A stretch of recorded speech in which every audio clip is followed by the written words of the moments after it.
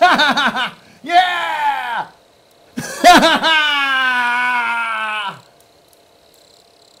it's still too soon, I see. Yeah, It's still. It, it really is.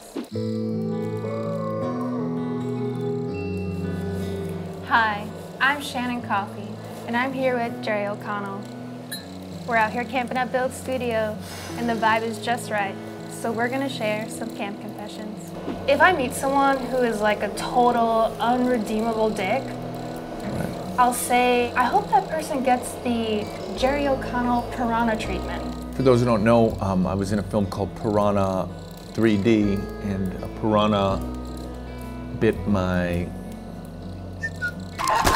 He took my penis! Don't you wish that every time there was like a really bad person, you could just be like, piranha effect? My penis! I have a confession about people who are rude. I see people like that saying things about me on, in the comment section. I have a few shadow accounts, fake accounts, and I go, you shouldn't talk about Jerry O'Connell like that. he was really good in Piranha 3D. My penis! He has feelings.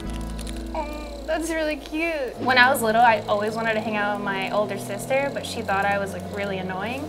So she came up with this game called the Prison Game, and it was just me uh, sitting alone in the bathroom while she watched TV, and occasionally slipped bread and butter under the door. and I get now that that was a trick, but at the time I was like, this is the best game ever.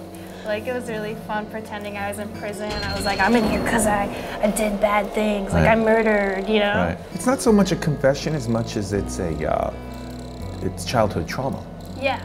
Have you seen uh, Jailbirds on Netflix? It's a reality show about a women's prison, and they talk on the toilets. You mean they speak to each other through the toilets? Yeah, they like take all the water out of the toilet, and they'll be like, "What's up? Just hanging out.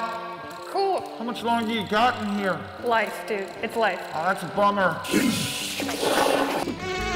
Oh, these bugs tonight. That's crazy. Yeah, you must have that blood type that attracts them. Yeah. I don't know my blood type.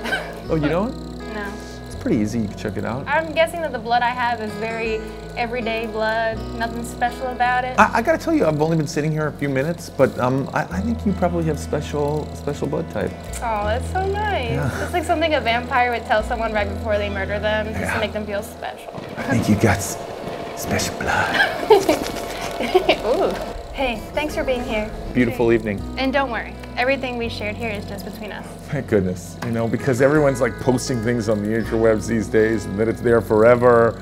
Whew, just, you know, I'm really happy it was just between us. Um, no, and the internet. Can you cut out the part where I was